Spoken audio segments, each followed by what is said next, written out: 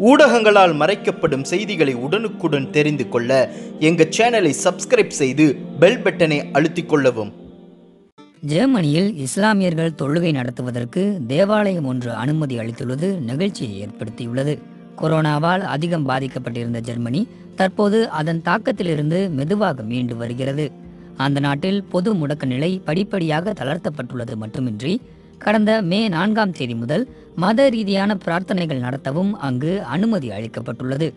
ஆனால் இந்த பிரார்த்தனை கூட்டங்களில் குறைந்தது ஒன்றரை மீட்டர் இடைவெளி இருக்க வேண்டும் எனவும் அறிவுறுத்தப்பட்டுள்ளது.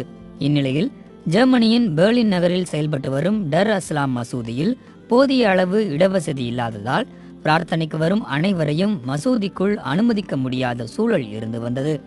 இதனை அறிந்த அதே பகுதியில் செயல்படும் மார்த்தா லூத்தரன் தேவாலய நிர்வாகம் தொழுகைக்காக வரும் இஸ்லாமியர்கள் பிரார்த்தனை செய்ய தங்கள் தேவாலயத்தில் இடமளித்துள்ளது. இதனைத் தொடர்ந்து அந்த தேவாலயத்திற்கு வந்த இஸ்லாமியர்கள் பலர் சமூக இடைவெளியை பின்பற்றி தங்கள் தொழுகையை நடத்தியுள்ளனர்.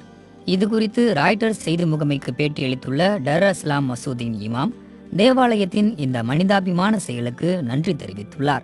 மேலும் கடுமையான இந்த கொரோனா காலத்திலும் எங்கள் நண்பர்களின் இந்த செயல் மகிழ்ச்சியை கொண்டு வந்துள்ளது. இந்த பெருந்தொற்று எங்கள் சமூக ஒற்றுமையை வெளிக்காட்ட வாய்ப்பளித்துள்ளது. இந்த நெருக்கடி மக்களை ஒன்றாக்கியுள்ளது என கூறியுள்ளார். இசைக்கருவிகள் சுவரில் வரையப்பட்டுள்ள ஓவியங்கள் என இந்த இடம் முதலில் எனக்கு வித்தியாசமான அனுபவத்தை தந்தது.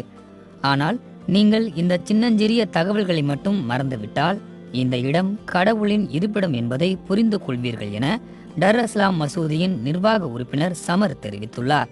இந்த தொழுகை நிகழ்வில் கலந்து கொள்ளுமாறு அந்த தேவாலயத்தின் கிறிஸ்துவ குருவான மோனிகா மத்தியாசை அங்கு வந்திருந்த இஸ்லாமியர்கள் கேட்டுக்கொண்டுள்ளனர். இதனைத் தொடர்ந்து தொழுகை கூட்டத்தில் கலந்து கொண்ட அவர் ஜெர்மன் மொழியில் உரை நிகழ்த்தியுள்ளார். இஸ்லாமியர்களின் இந்த பண்பு தன்னை நெகிழச் செய்து விட்டதாகவும் அவர் தெரிவித்துள்ளார்.